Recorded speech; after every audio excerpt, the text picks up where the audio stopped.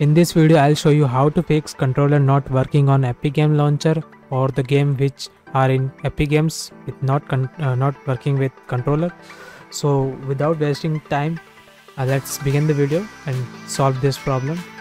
So guys first of all you guys have to go to Steam. Open the Steam.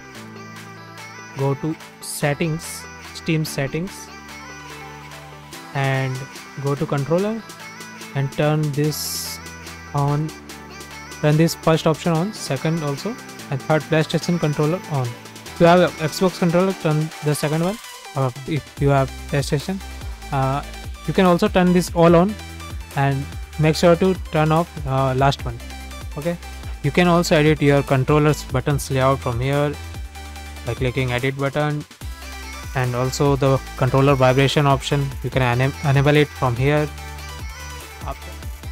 after that click on add a game add add a non-steam game find epic game launcher.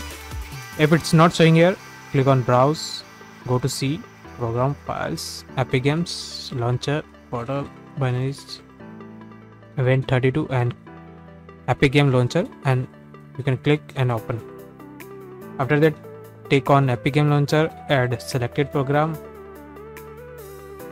Now the epic launcher will be shown in your library on your steam library and click on epic launcher now whenever you want to play a game which is in epic game launcher you have to first open steam then click to epic game launcher and you have to start a epic game launcher from steam from here now Steam will consider Epic Launcher as a game and every game which are in Epic Launcher will be playable with controller because of the Steam.